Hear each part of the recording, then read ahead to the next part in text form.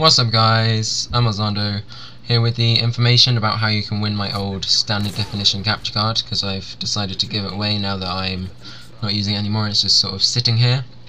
Um, basically, what I've done is I've uploaded two gameplays uh, to Zshare. Uh, the first one is a game of Search and Destroy on Wasteland where I'm using an intervention and my team of me and five randoms win the game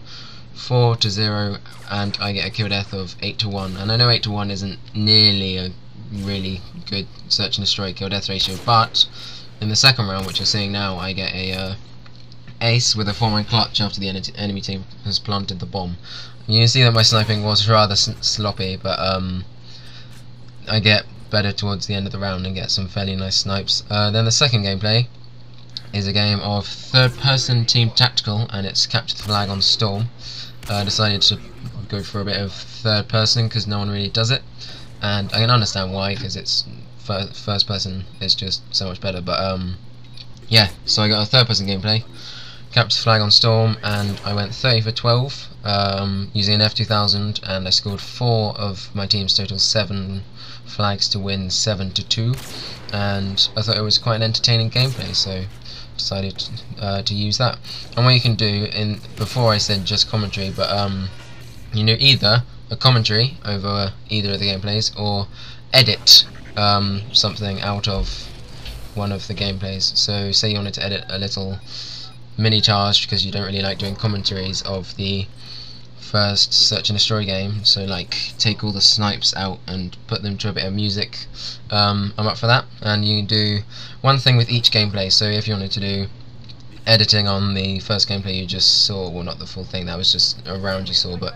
uh, then you can and you can also do a commentary on this one the one you're seeing now. Uh, this is just a few highlights from it um, of the flags I capped and some rather nice kills I got. Um, so yeah, do, do either a commentary or editing on either of the gameplays, and you can do both of them. Um, and that's pretty much it. Uh, the deadline is 1st of September, so at that point I will stop accepting video responses, because that's how I want you to submit them. I want you to um, download them, edit them with whatever program you edit them with, and add commentary or edit them into a sort of mini Taj thing and then upload them to YouTube and post them as a video response to this video and I'll have a look at them. Uh, unfortunately this is UK people only because uh, it could quite it could cost quite an extortionate amount of money to ship to the US or Canada so sorry if you live out there or anywhere else but I'm sure I could ship it to you if you wanted to enter and were willing to pay for shipping but if you're willing to do that then you may as well just buy a capture card to be honest. Um, but yeah if you want to do that and like pay for shipping then you do that but I suggest that just UK people would do it. Uh, so that's pretty much it. Go ahead and download the gameplays and good luck